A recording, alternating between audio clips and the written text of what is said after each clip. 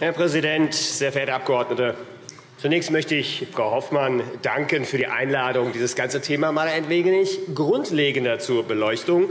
Äh, denn äh, wie immer, wenn es um die heilige Kuh EU geht, müssen wir die Diskussion oder die Debatte mal wieder vom Kopf auf die Füße stellen. Und dazu, dazu gehört, dass die EU von heute natürlich eine Folge des Friedens in Europa ist und keineswegs die Ursache. Alles andere ist gefährliche Geschichtsklitterung, meine Damen und Herren.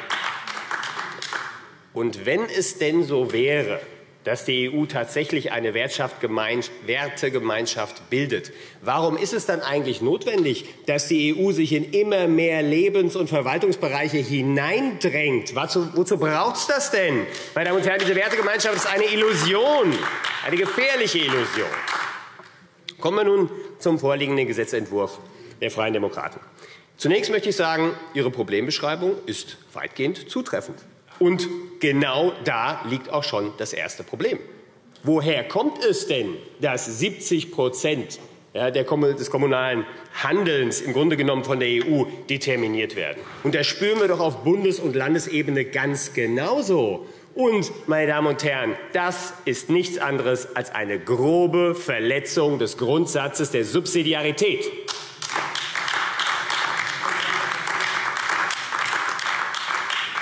Ja, vielleicht ist tatsächlich in Vergessenheit geraten, was das eigentlich bedeutet. Ja, dass die Entscheidungen nämlich möglichst nah am Bürger getroffen werden, wo auch die demokratische Kontrolle und auch die rechtsstaatliche Kontrolle am besten funktionieren. Und dieser Grundsatz kommt hier unter die Räder, meine Damen und Herren. Und dem können wir uns natürlich keinesfalls anschließen. Jetzt ist natürlich auch genannt worden in dem Gesetzentwurf, dass es ja ganz erhebliche finanzielle Anreize und Fördermittel auf EU-Ebene gibt. Genau. Und auf der anderen Seite haben wir eine nicht hinreichende finanzielle Ausstattung der Kommunen. Das ist einfach ein Faktum. Immer mehr Aufgaben müssen mit den begrenzten Mitteln erfüllt werden, und das funktioniert eben auf Dauer nicht.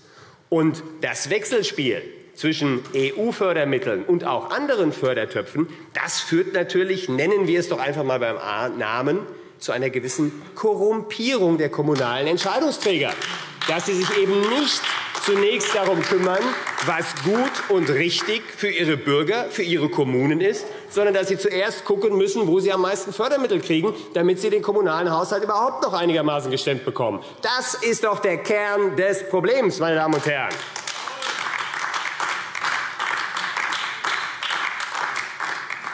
Und durch diese Mechanismen erleben wir ja auch einige kuriose Effekte. Weil die Partikularinteressen dabei ja durchaus erfolgreich bedient werden, sind am Ende alle irgendwie zufrieden, obwohl Deutschland insgesamt viel, viel mehr Geld bezahlen muss, als es selbst aus Europa zurückerhält, und das Ergebnis dieser Politik dann auch immer schlechter wird. Und das lehnen wir ab, meine Damen und Herren. Der Kern des Gesetzentwurfs eben die bereits genannten kommunalen Europabeauftragten. Die werden all diese Prozesse und Rahmenbedingungen, die heute schon negativ wirken, noch weiter verstärken. Es handelt sich sogar im Kern um Bürokratie, Bewältigungsbürokratie. Und auch da, Achtung, festhalten, da muss ich ja sogar der Frau Abg. Dahlke recht geben, dass das ausgerechnet von den Freien Demokraten kommt. Also, da ist irgendwo der ordnungspolitische Kompass verschütt gegangen. Das merken wir leider an anderer Stelle auch. Und Sie stellen sich dadurch selbst wirklich kein gutes Zeugnis aus. So, und was braucht es denn nun tatsächlich, um die Rolle der Kommunen in der EU zu stärken?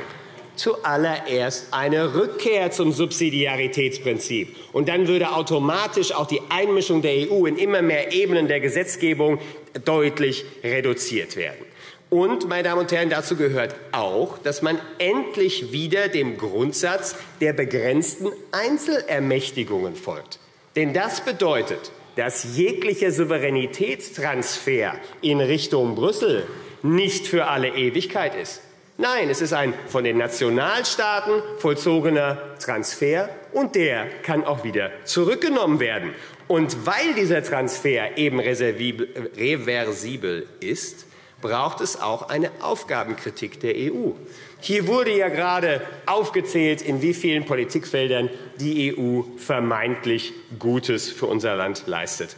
Und meine Damen und Herren, wenn wir das mal wirklich auf den sachlichen Gehalt abklopfen würden, dann würde sehr schnell die Fassade zu bröckeln beginnen. Und deswegen ist es elementar, wenn die EU weiterhin funktionsfähig sein soll und ihre zum Teil ja wirklich unstrittige Erfolgsgeschichte, damit die endlich weiter fortgeschrieben werden kann.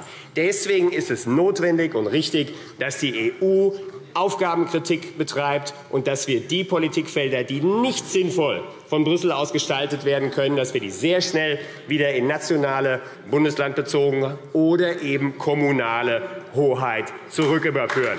Und weil das so ist, können wir diesen Gesetzentwurf natürlich nur ablehnen. Danke sehr.